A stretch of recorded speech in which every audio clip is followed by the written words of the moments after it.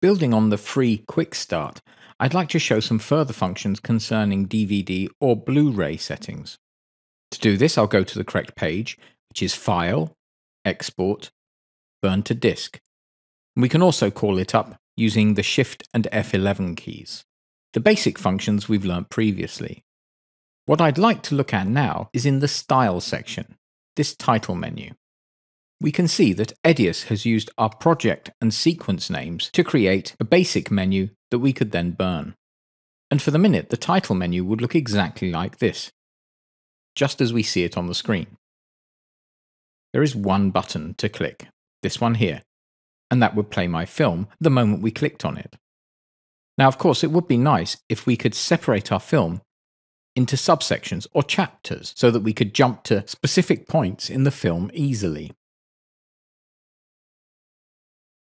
And if I look here on the left side, in these options, then I can see that the No Chapter menu is active. I'll deactivate this function for the minute, and now we can see that in the Title menu preview, there is a new button for Chapter. And if we now go into the Edit menu, there I can call up the separate menus.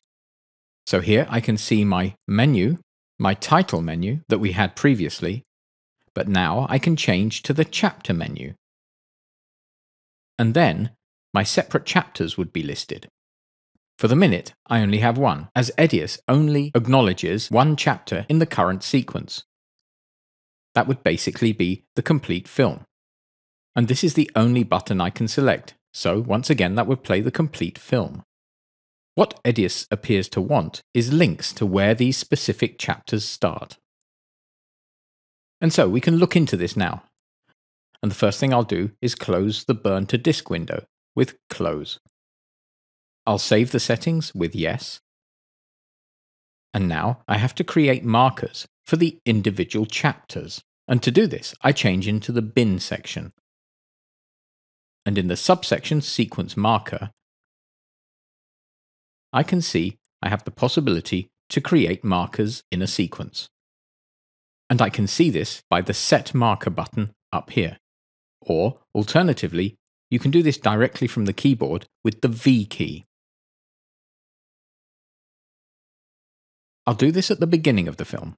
Set Marker. And now we can see a marker appears. I can also see in the timeline that there is a mark here. The next marker I'll set here, where the film starts, or where the music starts to be more accurate. Set marker. Once again, I can see the marker here. Then the next one, more or less here. And so we have a few marker points within our film.